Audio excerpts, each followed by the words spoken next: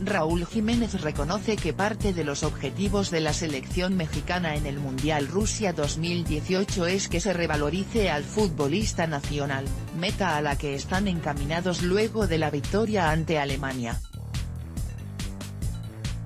Nosotros estamos trabajando para eso, que se valore más al futbolista mexicano, este tipo de triunfos sirven para eso, pero no solo con un triunfo eres el mejor del mundo, comentó en conferencia de prensa.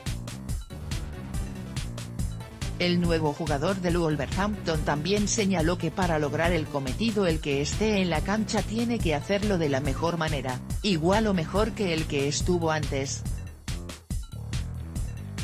Además, opinó que mientras que algunos compañeros pueden llamar la atención de nuevos clubes, el Mundial le representa una motivación más pues como lo he hecho con mi club mostrando capacidad de afrontar momentos difíciles para estar en selección, ahora debo mostrar en selección para llegar a mi equipo y hacerlo de la mejor forma.